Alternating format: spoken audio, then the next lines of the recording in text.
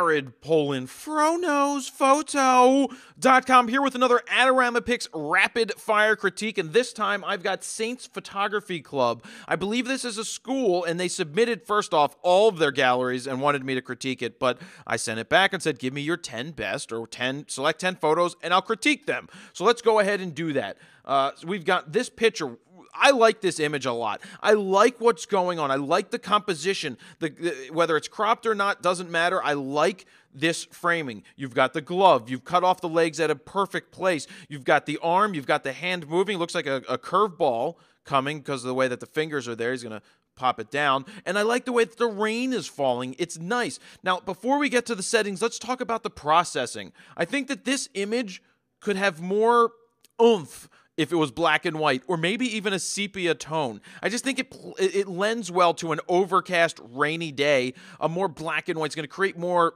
interest. I don't know why I can't think of the word. I can't think of the word, but I think it would be better to go black and white. Let's look at the settings. We have 1 6 40th of a second, 5.6 ISO 640, 260 millimeters. Let's see what lens it is. Scrolly McScrollerson, scrolling down, scrolling down, scrolling down we have here. Where is it? Where is it? What is it? Well, I found it earlier. Uh, 55. So it's a 55 to 300 Nikon.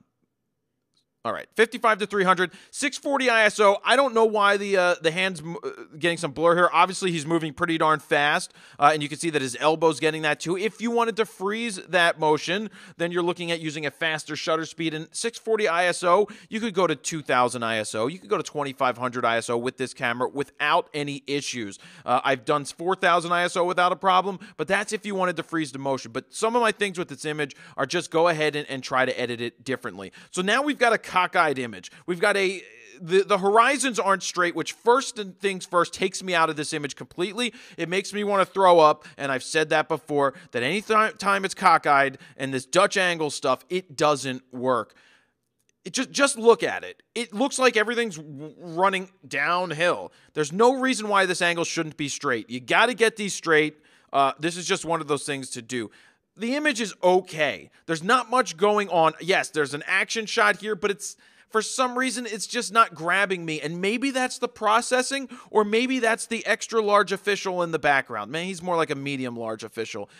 You know, this is the thing when you're shooting with a 5.6 lens. Where are we at? We are at f5. You can see the difference of how the background doesn't get blown out. Also, it's at 155 millimeters. If this was all the way out at 300 millimeters, then yes, the extra large, medium large official in the background would be blown out more similar to what's going on back there now. Um, so another thing is processing. I would boomify this. I think it's way too flat for what it is. You need to pump that up, and I think it would stand out more. And as a side note on officials being large, I used to get crap for my hair, and they kind of stopped giving me games because of my hair, and they talk about officials need to look presentable. And yes, I agree. Officials need to look presentable. Well, I look pretty damn good, in my opinion, other than having a big ass afro, which I think is fine. So what I told them was when you tell the fat officials to lose 50 pounds and they do it, I'll consider cutting my hair.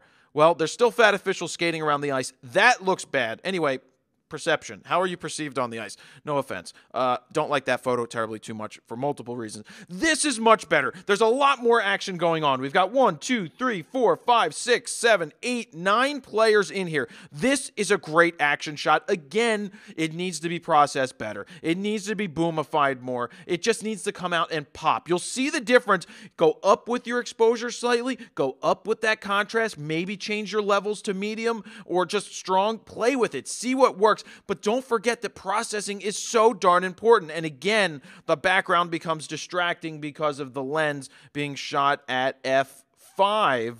Uh, okay, one six was one sixteen hundredth of a second, sec, second of a second is fine. Uh, taken with the D7000. This is a much better action shot. You just need to boomify it, come up with the exposure a little bit. That way, it's all gonna pop more, but much better. You see how the lines are straight going across? It doesn't look cockeyed. It's not bad uh, I can't use this. Like, the reason is the kid's arm is blocking. It would be good. You got to get away from the goal. You got to shoot down towards the goalie, fill the frame like you did, but you got to get the goal frame. You got to get the you got to get the front of the player in there to give it some more interest. This is just a shot of a guy jumping in the air trying to stop the ball. 1 through 20th of a se- 1 3200th of a second, 5 3 again 220 millimeters. I'm going to go ahead and make some suggestions here in a second, which is uh, right now try to be out at the 300 range or between 2 to 300 with this lens.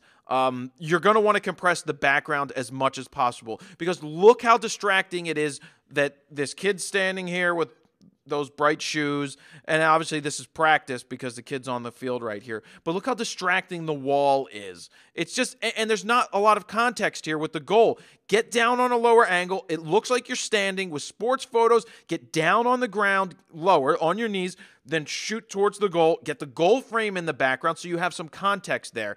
That's what's missing in this image. And again, it looks like it's straight out of the camera, not really processed with the raw file. So we've got something similar going on here. We got the goalie. It's unbelievable that th- that ball is extremely hard and goalies don't have pads on. That is insane, insanity rising, in my opinion crazy. What I, am thinking this is higher than five six. Oh wow, four eight. That's you know why I, I said it looked like it was going to be wider than uh, than uh, five six because it's shot at 135, so the background is not compressing that much. Again, back up if you need to, zoom in. I don't care if you're at 5.6 to get these shots, it's going to compress the background more because look how distracting it is with this kid on the clipboard and this guy back here and all this stuff in here. Fill the frame more with the uh, with the action going on move away from the goal more to the left. That's going to be a, a, better angle to shoot to get the goalie there, or also backing up behind the goal is going to get the players coming towards you there.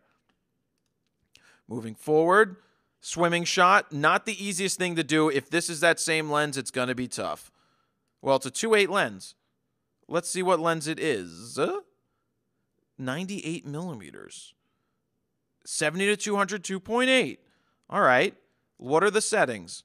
We are at 1 400th of a second, 2.8 at 640 ISO. Oh, wow. So we are pushing this, this camera to the limit right now.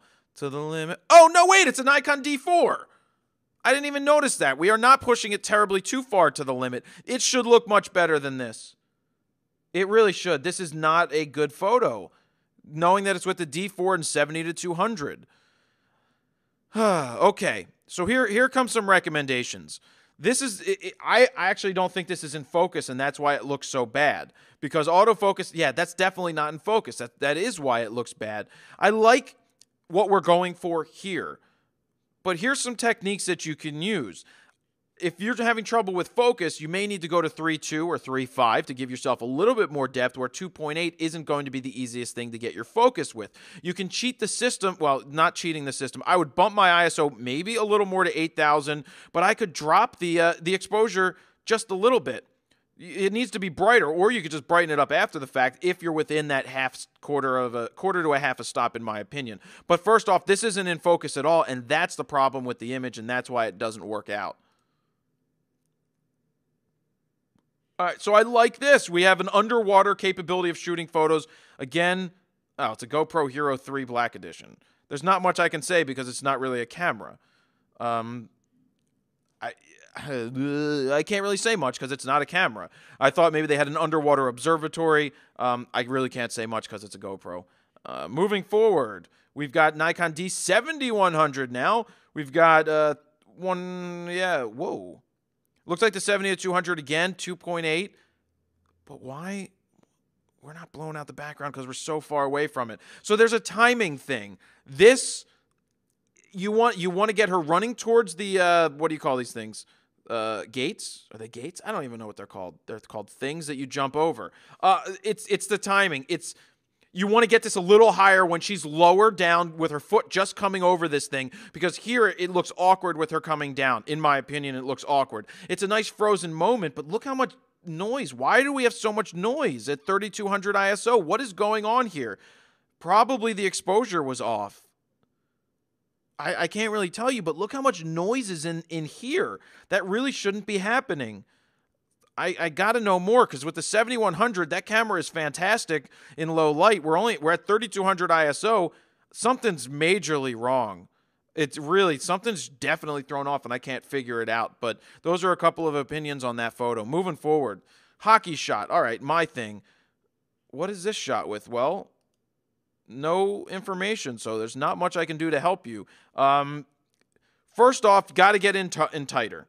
You know, we've got Butler, number 88, going to the goal, crashing. 22's got a hand or a stick coming in around the goal. He's got the puck between the legs trying to make the stop. You got to get tighter. This is a good place to get action shots, but the exposure is off again. We need to brighten it up. We need to uh, either brighten it up after the fact or drop the uh, drop the shutter speed during the game. Now, you want to be careful dropping the shutter speed because you may not freeze that motion, but we just got to come in tighter with a with an image like this. It just has to be done tighter. This is a good action shot. I can see that already. Now, this is much better. We got this guy in the air. We got this guy in the air. You can see how the background is blown out more because it's so much further away. Nikon D3 this time. Lots of different cameras. One eight thousandth of. Oh, no. Oh, no. Oh, no. Oh, no. What lens are we using now?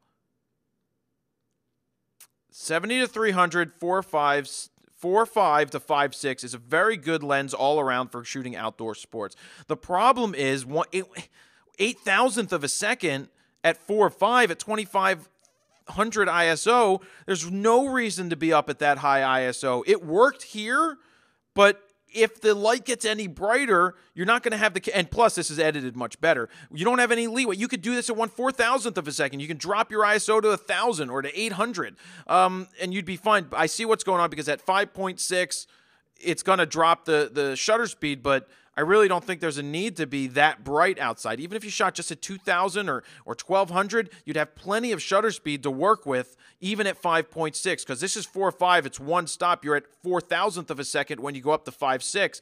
So, absolutely no problem uh, to go down one stop on the ISO because then technically it's going to be two stops, one eighth fourth out, two, even one two thousandth of a second, you're going to be perfectly fine. So I like this shot much better. You got the ball, you got the kid going up, and it's edited and processed a hell of a lot better than before. What else? Is that it? Am I at 10 images? There's no way that's already 10 images. I talked a lot.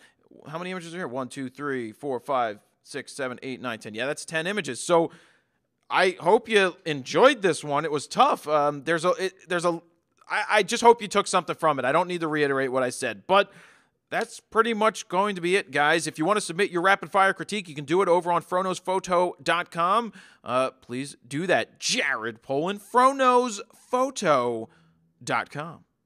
See ya. So I hope you like that AdoramaPIX rapid fire critique. If you'd like to see more, we've got one more right up here that you could click on, or another one down here. Go ahead and click on either one of those to get another AdoramaPIX rapid fire critique, or you could always subscribe to my channel right here so that you can get the latest videos as they go live and be the first person to see them. So there you have it, guys. Thank you very much, and see ya.